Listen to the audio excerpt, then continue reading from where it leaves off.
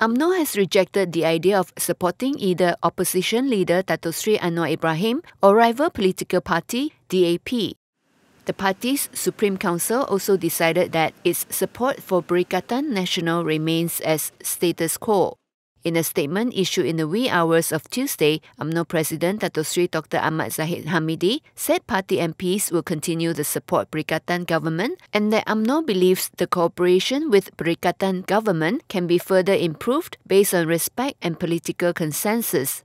The party also suggests that the national reconciliation agenda be expedited by encouraging the participation of all political parties under Perikatan government as well as with opposition parties.